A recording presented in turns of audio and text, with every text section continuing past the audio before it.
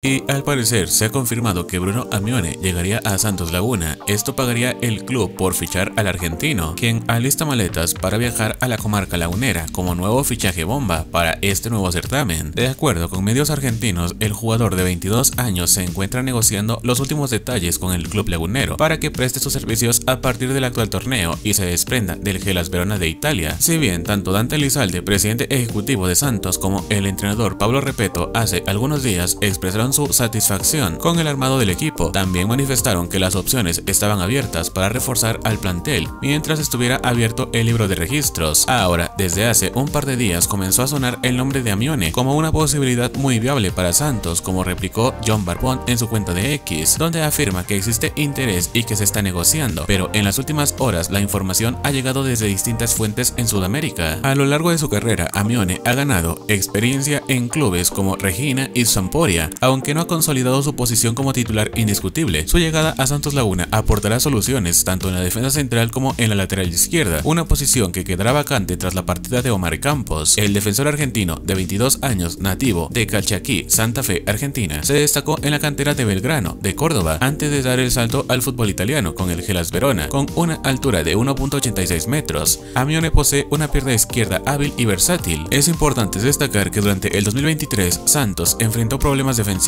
que lo ubicaron entre las peores defensivas de la liga mexicana. La directiva liderada por Dante Elizalde busca revertir esa situación y fortalecer la saga para la temporada actual. De acuerdo a Transfer Market, el valor de este jugador asciende a los 2.7 millones de euros. Tiene un contrato vigente hasta junio del 2025, lo cual desde luego no es un problema. Y según Nicolás Gira, experto en el mercado de transferencias, Santos Laguna pagaría alrededor de 3.5 millones de dólares por un contrato de 4 años. Y bueno, hemos llegado al final de las noticias de hoy. No olvides comentar ahí abajo qué te parecieron. Dale like, suscríbete al canal y activa la campanita para así traerte siempre más y mejor información. Hasta la próxima.